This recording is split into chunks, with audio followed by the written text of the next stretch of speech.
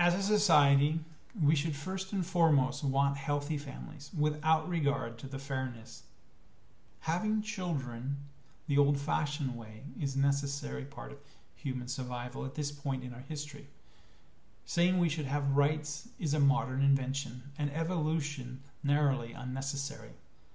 Let me let you in on a little secret about evolution. It's neither fair minded or logical, it is purely strategic. Fact Giving women the choice after the fact of intercourse helps increase mother child bonding by forcing a mother to positively affirm their child, and this necessarily decreases the number of unwanted children. What benefits would we see if we gave men a similar choice? There is no question in my mind of the argument that men should have a choice after the fact, the same as a woman is fair minded.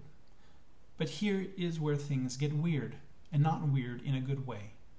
A man has to publicly reject their offspring for this to work, and the effects of that public rejection has no direct effect on the birth or non birth of that child.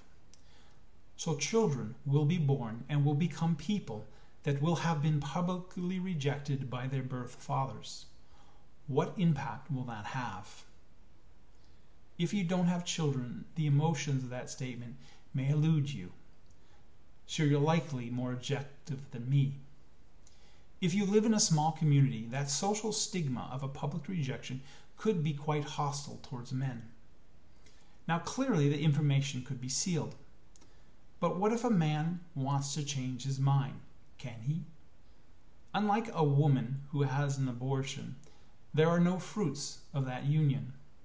So, unlike the choice that a woman has, a man in theory could undo the choice of rejection. And a man will never have the choice of keeping the child in the first place when she doesn't want to keep it. Now, it is similar to giving a child up for adoption, but is not completely the same because adoption will still the choice to give life. When a man says, I don't care, he is saying, I don't care whether the child lives or dies.